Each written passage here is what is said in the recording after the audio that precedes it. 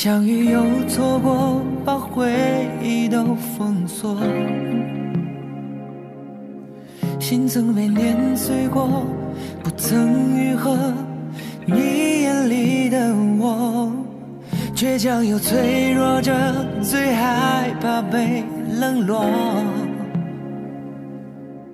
孤傲是我所写的歌，没完结的悬疑小说，在等你执我手，陪我去续写，续写到结局那一刻。那主角是你，也是我，是我。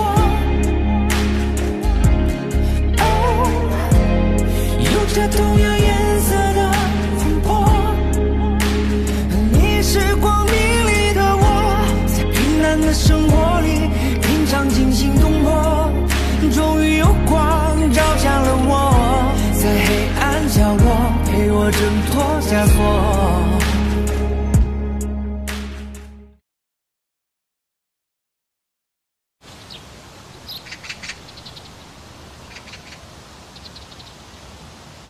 追凶继续写。嗯，之之前这个项目不都已经停止协议了吗？那是跟黄辉停止协议了，但项目我们还得做呀。你还剩多少集啊？现在？呃，十二集。十二。行。哥，咱们是要跟谁合作了吗？还是？啊，我让你汪洋哥重新介绍了一个制片方。珊珊，这个项目你花了两年多时间了，我不能让你这些辛苦都白白付出啊。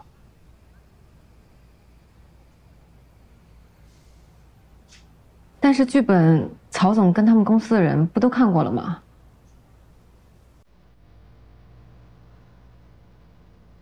曹总跟他们公司的人都看过了，怎么了？项目就不能做了，啊？圆圆，你知道的，这两年多没日没夜，珊珊在这个项目上付出了多少心血啊？一个字一个字都是她自己写出来的，我难道要看着这个项目胎死腹中吗？哥，这个剧本你什么时候要？越快越好，行吗？行。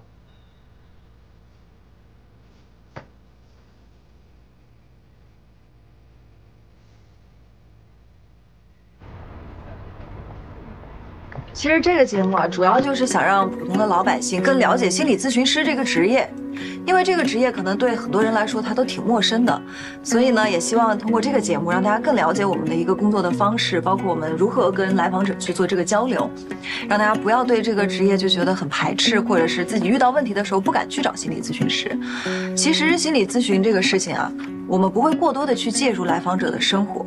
或者是去影响他们日常的一些行为，而是让他们通过找到自己，然后找寻一个适合自己的解决方案。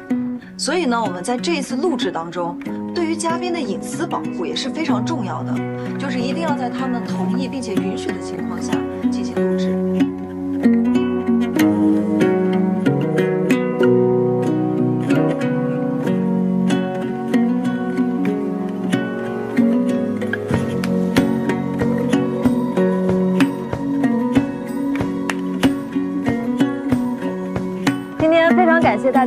合也跟大家学到了很多东西，谢谢你们，辛苦了刘老师，谢谢刘老师，谢谢刘老师。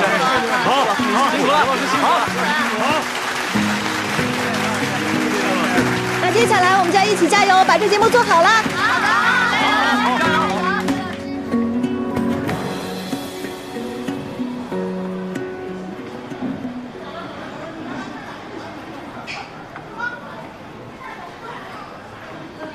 李大爷。好奶奶呢？他没跟你说啊？说什么？不是你说话别说一半啊！你不会又惹他生气了吧？你要不回我，那就证明我说对了呗。哎呀，一到过年就有这一出啊！他要我跟我的孩子们去讲，讲什么？就我和他的事儿。照我说呢，都这把年纪了，过一天算一天。可他非把这个事儿啊放到桌面上。李大爷，合着这么久了，你和曹奶奶的事从来没跟家人说过？哎呀，你不懂，你不懂。哇，哎，平时你糊弄着过去，这都快年三十了，到时候你的二女们回来了，陪着你啊，一大家子其乐融融的，让曹奶奶一个人孤苦伶仃的，是这意思吧？就年三十一天。哎呀，打住吧！什么就年三十一天啊？你真可以，你真是。哎，山子，啊，别走啊！啊，着什么急呢？你帮我跟曹奶奶说说怎么样？不可能！哎，你帮我就是帮你曹奶奶嘛？啊？不可能！来来，求求你，求求你这小子。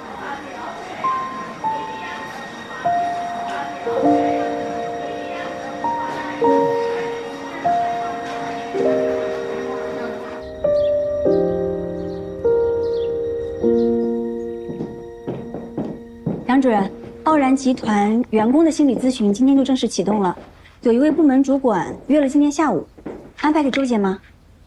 不用，我亲自来。您亲自做。嗯，好，明白，我这就去安排。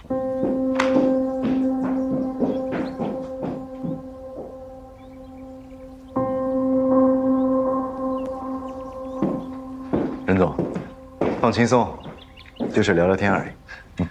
谢谢。啊，杨主任，我没做过心理咨询，需要我做什么吗？什么都不用做，我会引导你跟着我的节奏走就好。我会问你一些问题，你就如实的回答，不用过多的思考，主要就是放松。切记啊，一定要放松。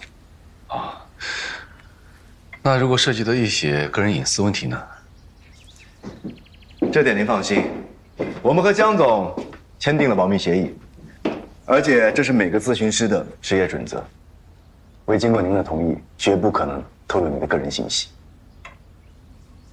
还有，我呢要有义务提醒你，来访者有责任向咨询师提供自己的真实个人信息，如果隐瞒或者扭曲，造成的个人后果，由您个人负责。行，那好。所有能问到的个人信息，无论巨细，全部提供给我。你要这些信息做什么？我们的合作是我提要求你来实现，你自然会拿到你的回报。其他的事情，你不用知道。您一家几口人？四口人，我和我老婆，还有一儿一女。您父母呢？父亲两年前过世了，母亲还健在，在老家和我大哥一起生活。没有想过把老人家接到苏城吗？想过，可是每天忙得焦头烂额的，就是接过来了，也照顾不好啊。公司高层压力很大，很多决策由您去解决，还是说江总亲自解决？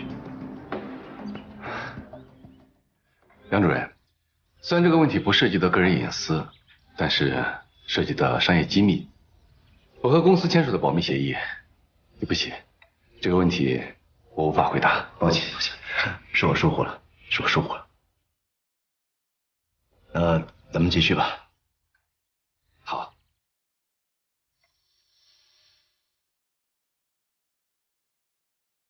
经过这段时间的接触，傲然集团的高管对集团非常忠心。虽然对姜思妍有一些吐槽，但都是小事。他们对公司、对姜思妍忠诚度还是很高的。这并不意外。如果姜思妍连这点手腕都没有的话，也不会成为我强大的对手。我要的是结果。那么多高管去你那儿咨询，总会有些收获吧？个人信息是问到，但是工作上的信息还没有问到。他们都很警觉，所以我我还需要些时间。可是我没有那么多时间。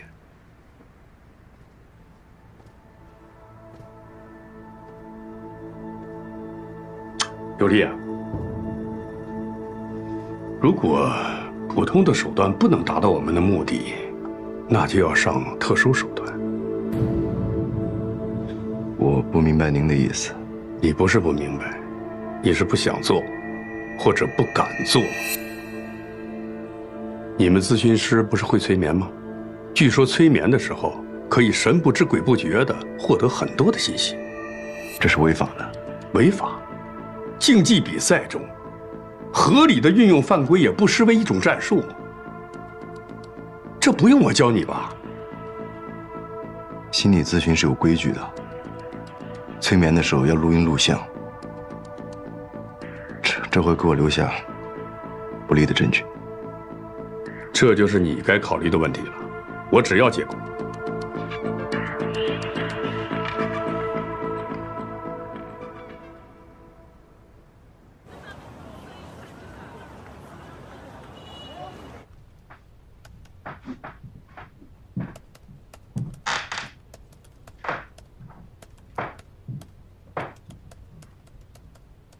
那个山子，是这样啊。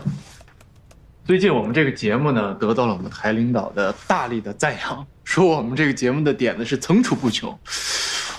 我是好奇，这些点子你们是在哪里讨论出来的呢？就在家里讨论出来的。是我我看这家也挺普通的，到底是哪里刺激了你们的灵感呢？没什么刺激的呀。就比如说平时可能刘霞在房间里的时候，她突然有什么想法了，就叫我去她房间讨论一下嘛。或者我如果在写剧本的时候，她突然也想聊，她就来我房间嘛。那平时吃饭的时候，我们就在客厅，那有什么想法就会一块聊一聊嘛。要不然就在那儿嘛。啊，之前有一次好像我在洗澡的时候，她突然就有什么想，不是这个跟地方有什么关系啊？当然有关系了，活动面积还挺大。这个家就这么几个地方，哎呀，看来你是真支持我妹工作呀。当然了，刘霞的事情我肯定支持啊，她又不是别人。哼，对对是。哎呀，哎呀，看来是真有问题啊。是跟家里交代呀。录个节目还把妹妹搭进去了呢。不是那个祁连山啊，有些话咱得说明白啊，你不能这么。不是哥，你到底要说什么？你在这走来走去，看得我都晕车了。哎，行行行，等那个小霞回来，咱们再说啊，不着急。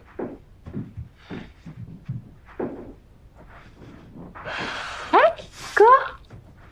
啊。来啦！啊啊，来坐吧。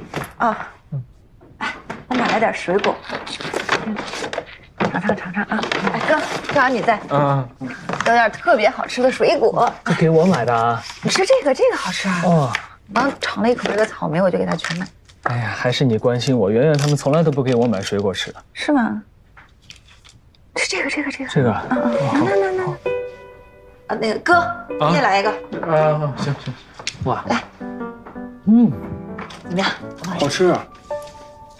哎，你最爱吃哪一个呀？嗯，这个都可好吃了，都挺好吃的。嗯，我刚刚尝了一下，觉得特别香，我就把甜的都买过来了。这样吧，嗯，下次我买给你。你呀，你都喜欢吃的话，我周一给你买这个。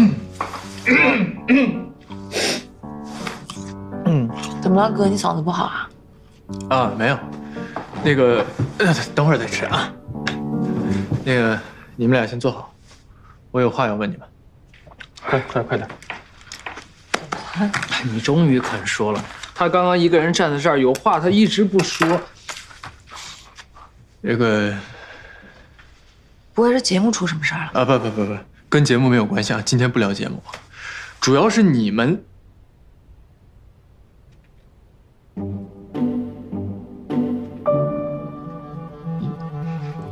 这这这样吧，我那个我回去冷静冷静，我思考一下，我我再回来找你们俩聊啊，不着急不着急。你们俩给我随时待命啊，这事儿没完。哎什么意思啊？哎，算了算了，别理他，我哥老是这样神神叨叨的。你说男生是不是会来大姨父这是？嗯，可能就他一个人有吧。你这个在哪买的？就楼下往右拐那个转角那地儿。哦，嗯嗯。阿德，哎，你说我第一次见他，是不是得给他准备一份礼物啊？您上一次啊没给他见面，人家未必会收礼物。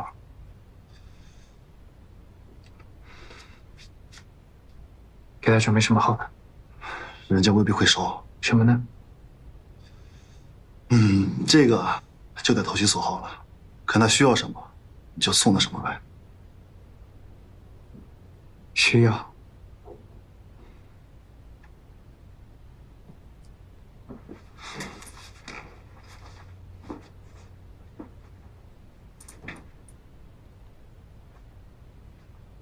那他需要什么呢？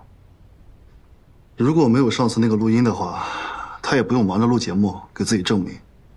我看他那个工作室啊，现在没什么客人了。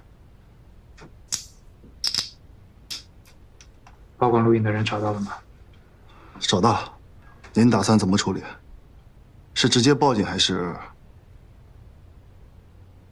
就让他当礼物吧。好。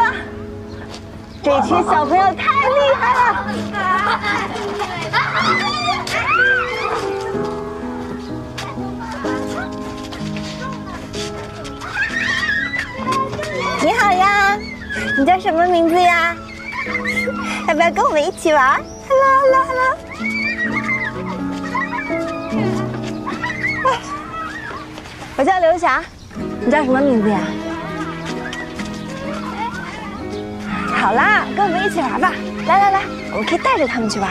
走，来啊来啊！小兔子，你要不要休息一会儿？小朋友们，你们想不想换一个母鸡？那我们让这个哥哥来当母鸡，来，去吧去吧。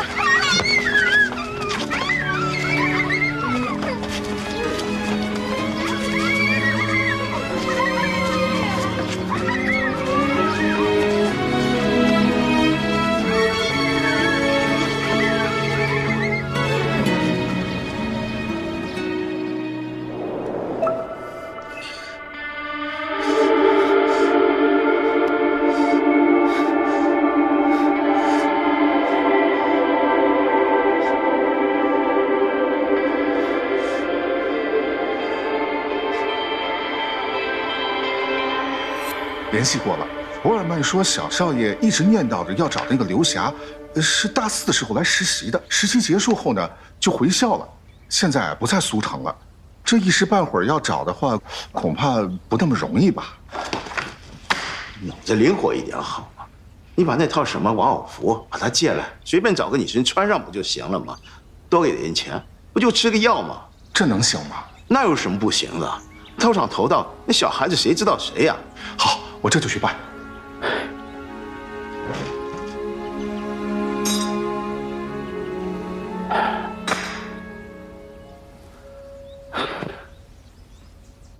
白沐晨，白沐晨，看看我是谁呀？柳霞姐姐，听说白沐晨小朋友生病了，还不想吃药，这是为什么呢？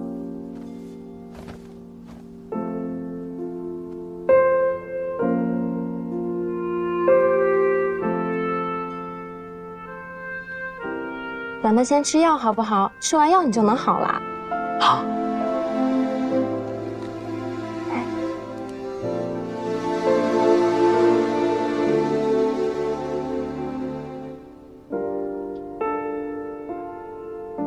晨晨真乖。等你睡完觉起来之后，我陪你玩，好不好？好。好，来，咱先睡一觉，睡一觉你就能好了。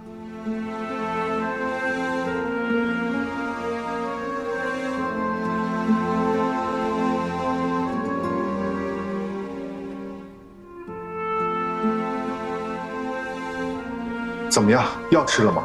吃了，已经躺下睡了。好，这是这次的报酬。好，谢谢。下次有需要再叫你。好，有需要随时给我们博尔曼打电话。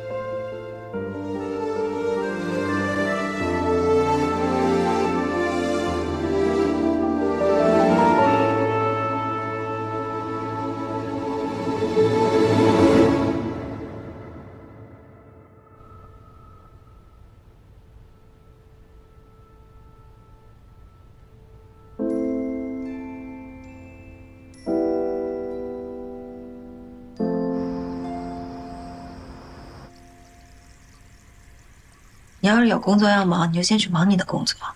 没事儿，我都答应过你了，不是？我可不想再送你去一次医院了。不会的，你改剧本你就先去改吧。我这要是遇到什么问题呢，我就随时来咨询你。不好意思啊，我也没想到我哥这次会突然催剧本催得这么急。你哥也真是的，他每次催你剧本都跟催命似的。之前也是这样吗？这次算是特殊情况吧。真的不能总有这种特殊情况了。你自己身体还是重要的，你知道吗？我都习惯了。咱住在同一屋檐下，我又是你二房东，你的身体健康我得负责任的呀。啊啊什么啊？你工作可以，但是不能这么玩命啊！你要是有个三长两短，我该怎么办？干嘛又想啊？哦哦哦哦的意思是听到了是吗？听到了你就赶紧去写你的剧本，写完早点休息。啊，好，那 那如果节目上有任何的事情，你就告诉我。啊，知道了。嗯，你下次真的试试白天写吧，别老熬夜。好，我我调整我的生物钟。那我先回屋了。祁连山，啊，我刚刚说的你听懂了吗？哦，嗯，听懂了就要照做。啊，好，好，我我会调整我的生物钟的。好吧。嗯。那那那我先进屋了。嗯。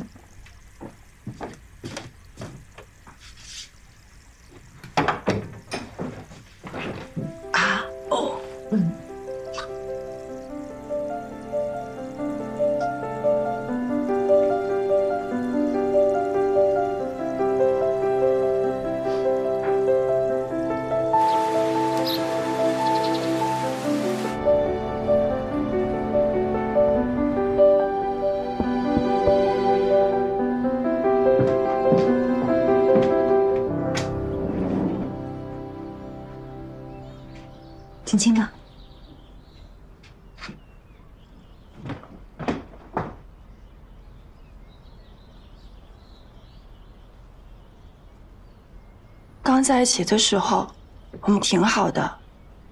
他特别关心我，我有一些小情绪啊，他都会在第一时间察觉。有一些特殊的节日，他都会送礼物给我，制造一些小惊喜。我觉得他是爱我的。直到后来我怀孕，有了孩子，一切都不一样了。不是意外怀孕，开始的时候是他提出来的，提了很多遍，我也答应了。我觉得有了孩子之后，我们俩的关系一定会更加亲密的。可后来我发现，他好像每天都沉浸在带孩子这件事情上，仿佛他的世界就只有这些。你知道吗？他整天都在忙忙工作，回到家里不是自己玩手机，就是在打电话。有时候我跟他说话，他也是爱理不理的。是怎样？孩子去找他，过一会儿就没有耐心了。我也不知道我们两个人怎么就走到今天这个地步。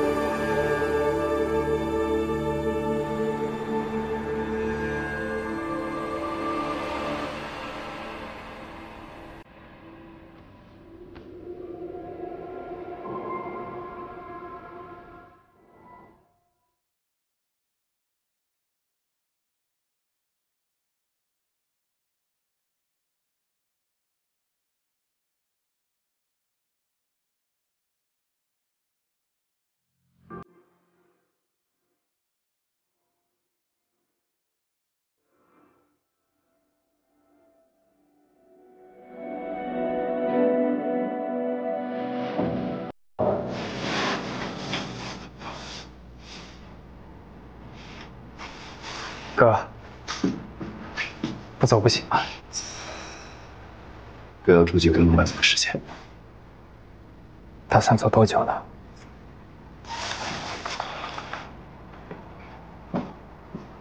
五年吧。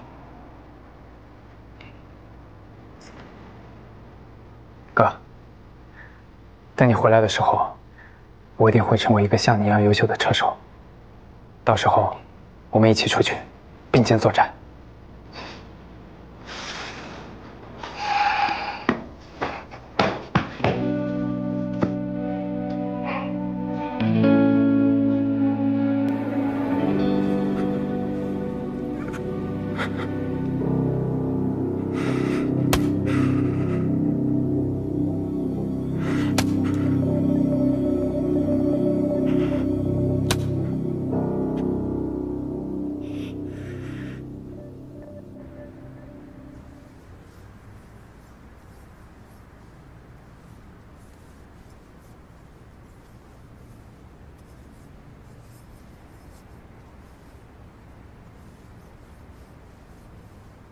最新消息，本届房车赛最具潜力的黑马车手韩帅，因为比赛事故抢救无效身亡。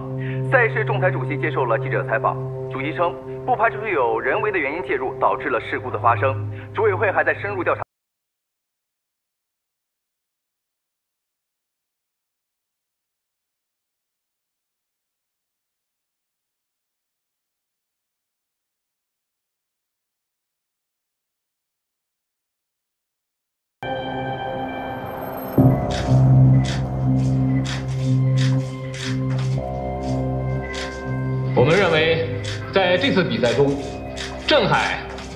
恶意与韩帅的车辆发生碰撞。啊，通过最后这条视频，我们认为，在韩帅车辆失控的这个事件当中，啊，郑海负有不可推卸的责任。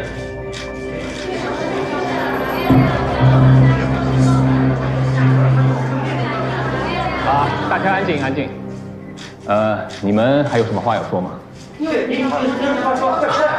哎，是这样，是这样，是这样的。啊啊，像这样重大的。事故，已经很多年没有在赛场上出现过了。嗯，造成这样的。后果，我们车队确实有不可推卸的。责任。啊，呃，尊敬的。主席，呃，各位领导啊，诸位媒体朋友啊。我代表我们车队，愿意放弃郑恺的申诉权，愿意接受一切调查，愿意接受一切调查。我不同意！不公，你混蛋！你明明知道不是他的责任，你为什么放弃申诉权啊？如果他真的没事的话，为什么还不要调查啊？难道你们是委主主席和委员会吗？我不相信！你混蛋你！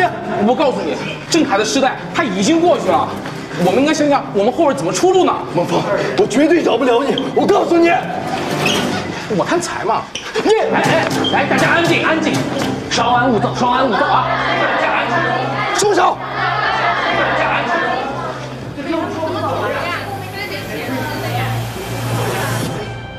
你弟弟的死确实是因为改装，他的弯心速度太快了。我哥今天回国了，他已经和国外的车队经理都谈好了。只要我能拿下这场比赛冠军，以后我就可以和他一起出国比赛。你知道，这是我的梦想。哦，啊，赛前检车的时候啊，我都已经打好招呼了。哎，呃，你的马力啊，足足比所有人都高出一百二十匹。啊，但但是啊。我不希望你一开始就展现出这样的优势，省得我为难了啊！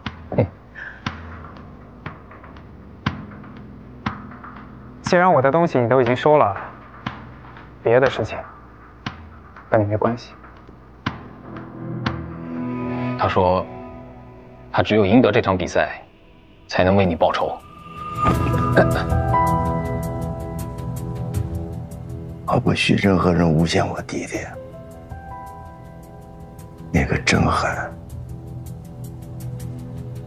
我要他付出代价。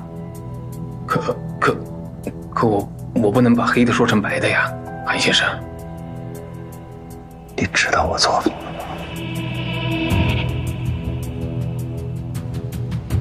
好，我知道了，韩先生。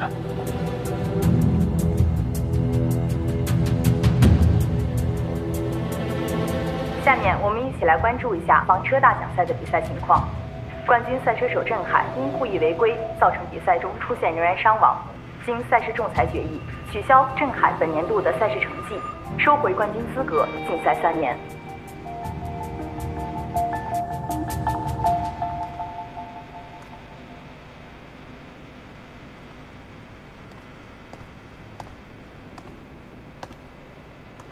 那我们以后该怎么办呀？嗯，那以后呢？赛事资格都取消了，还谈什么以后？韩帅的事故不是我造成的，车队为什么要放弃申诉啊？问你话呢？车队为什么要放弃申诉？这件事只要有人调查，就一定能调查清楚。你放弃申诉，不相当于变相承认了吗？我哥已经去闹过了。像我们这种小人物，怎么去跟组委会斗啊？车队也不挺我们，孟红也背叛了。我们可以申请个人申诉。我入弯的速度已经是极限了，但他可以却从外道超过我，那就证明他的车被改装过了。赛前违规改车车检是通不过的。我们车的数据已经在规则的极限了，他可以在直道轻松的超过我，只不过因为弯道的技术不过关，弯心的速度过快，导致车子失控飞出去的。这件事如果是我做的，我不会逃避；但如果不是我做的，我就不认。对呀，哥，你去找韩帅的车检查一下，不就知道了吗？我们能想到的，人家早就想到了。韩帅的车已经被拖走了，现在根本就找不到。还有就是组委会已经给了检查报告，车辆数据是正常的，没有问题的，这是结论性的。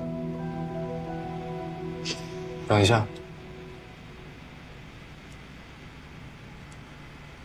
如果按你说的，韩帅的车动了手脚，那只能证明他们是一伙的，他们就是想诬陷你。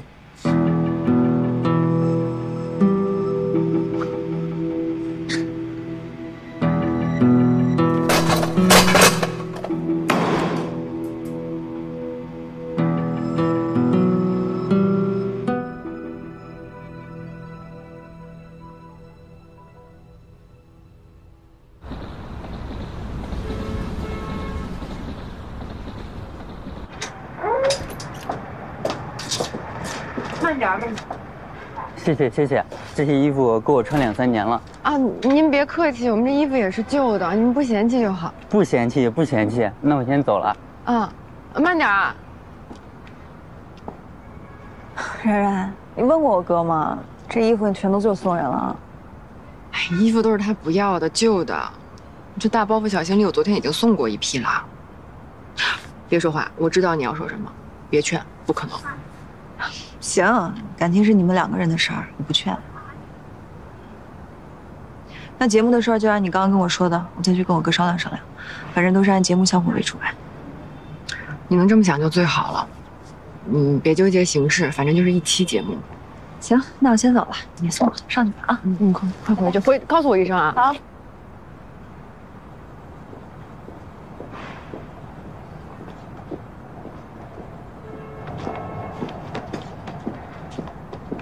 哎，这不刘霞大美女吗？张氏，你怎么会在这儿？我让你给我找工作，你不干呀？那我不得自己找房产啊？不是你找工作，你为什么要找这个小区呢？哎，这小区不挺好的吗？你那朋友也挺好。你要多少钱？我给你钱，你把这个工作辞了，去别的地方找工作去。钱我可以要，但你让我走，那可不行。我跟你说啊，我这个人啊有个习惯，就是我特别的没有安全感。你说你万一不理我了，我找谁去？啊，你看，你看，你还老板个脸，你一点都不可爱。你那朋友啊，就比你可爱的多，对我也挺好。哎呀春哥，那个业主送了很多衣服，您过来试试看有没有合适的吧。呃，行啊，那个我马上到啊。快去。嘿嘿嘿。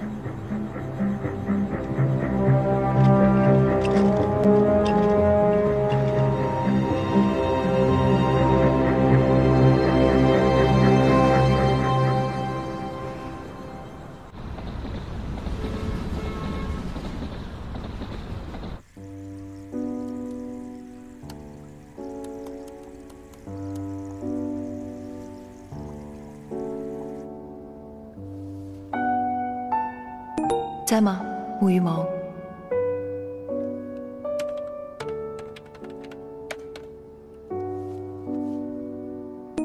在，怎么了？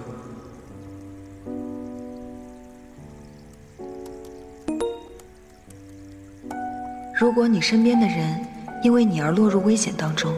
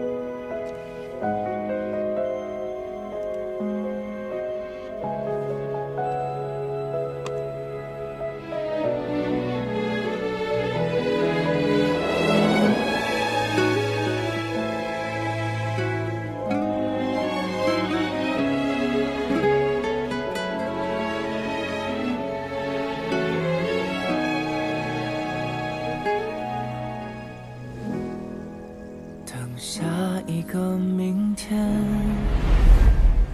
我求求你了，你别再逼我了，我是真的没有钱了。没有钱？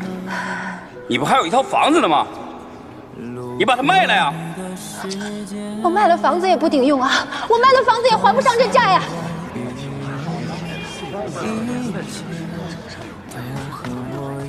妈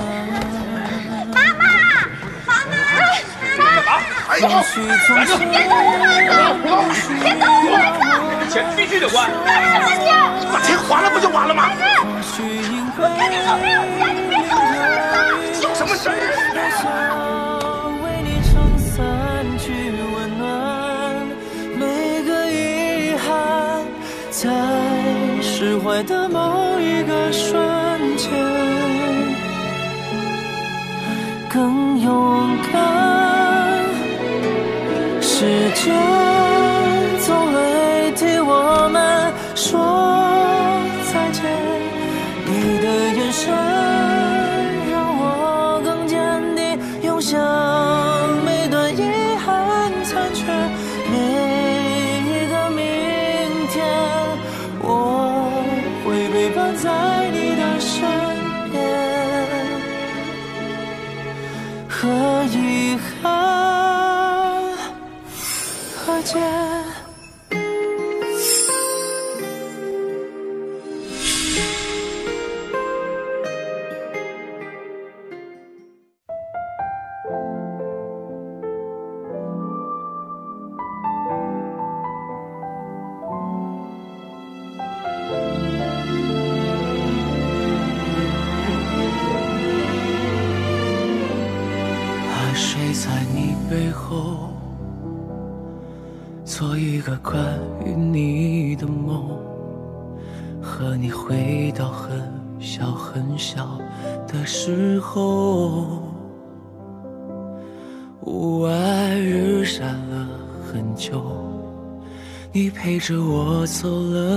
就，一直走到晚霞盖过你额头，紧握的双手抵过了无数的寒流，是你给了我整个温柔的宇宙，你时刻陪伴我左右，像星星躺在月亮胸口，我们一直走。就这样一直走，在身后一直有你跟踪，保护着一生给你厚重的胸常轻抚我额头，说你会陪着我很久。直到世界尽头，一起跟